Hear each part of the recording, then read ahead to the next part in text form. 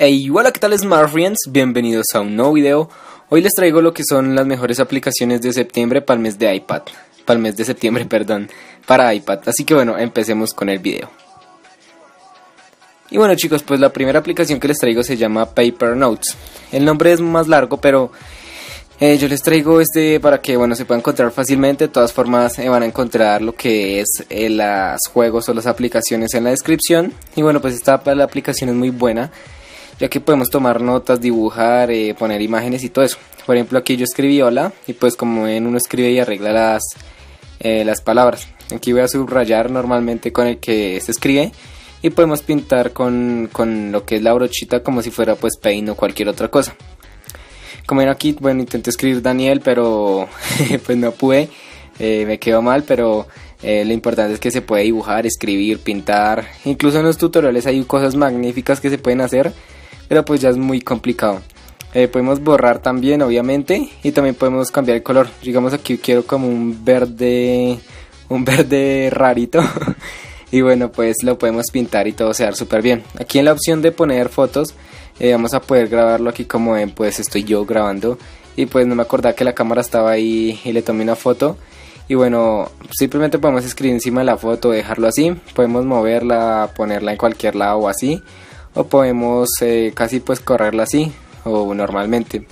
También nos podemos ir a lo que es la aplicación aquí de texto y lo que me gustó es que podemos hacer como una especie de eh, título principal y subtítulo. Simplemente borramos acá y como ven voy a escribir aquí YouTube y si hago un swipe hacia la derecha va a ser como una especie de título. Y si hacemos hacia abajo dos swipes vamos a poner un subtítulo así como más como puntos que toca destacar o cosas así como la aplicación está súper buena, es interesante se aparece un poco lo que es la nueva actualización de aquí de iOS 9 notas yo pues ya actualicé el iPad pero bueno, de una vez les recomiendo que no la actualicen, está súper lento y sobre todo pues en lo que es en el Spotlight. Eh, incluso ya había visto un video de esto y pues comenté lo mismo.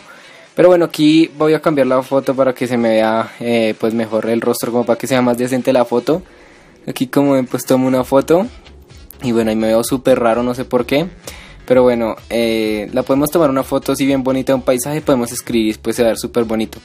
No podemos, no podemos escribir texto normal encima de la imagen, o pues por lo menos no sé cómo, pero bueno, se la recomiendo, está súper buena esta aplicación.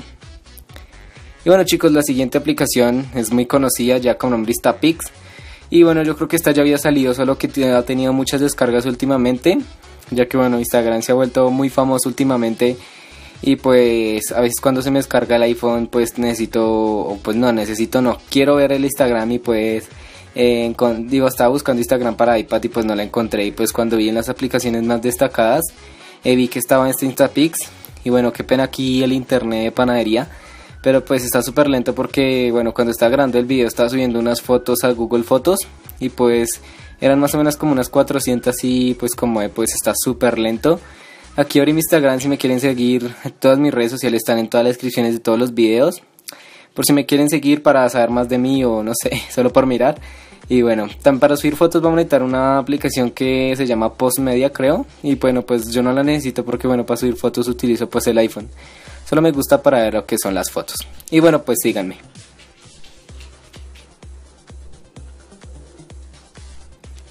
Y listo chicos, para finalizar vamos a abrir esta aplicación que se llama Class Timetable.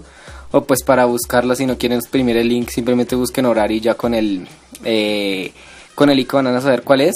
Y bueno, aquí en los settings o en las configuraciones, bueno yo como tengo aquí el idioma inglés, eh, podemos activarlo y todo eso y pues activar las notificaciones o para que nos avise y pues todas esas cosas.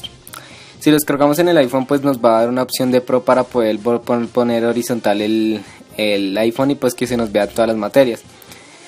Aquí como ven yo voy a escoger mi, color favorito que es el azul como ya deben saber y voy a escribir aquí una clase que tengo el lunes que se llama enología que pues es de vinos y pues esta clase la voy a tomar aquí eh, de un horario pero bueno aquí como Simplemente te tiene que dar save para guardarla, pero bueno, aquí no me acordé, así que la volví a escribir. Enología, y bueno, ya dejé el color verde, pues también me gusta. Y bueno, pues aquí lo, en el horario seleccionamos lo que el horario que necesitemos. Yo en este caso empiezo clase a la una de la tarde. Aquí le ponemos un en punto. Y pues obviamente pueden poner el horario que ustedes quieran. y lo pongo PM obviamente porque es por la tarde. Aquí como pues eh, la, la, embarré por decirlo así y pues lo, lo, borré. Pero bueno, simplemente pueden poner sus horarios todos los días que quieran y pues les va a recordar 5 minutos antes de que empiece su clase.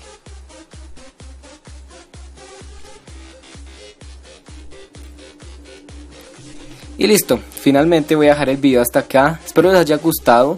Eh, hace como dos semanas no traía video, pero pues lo siento, no tenía ganas de grabar y pues estaba también bastante ocupado.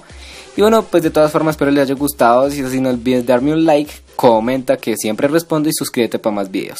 Adiós.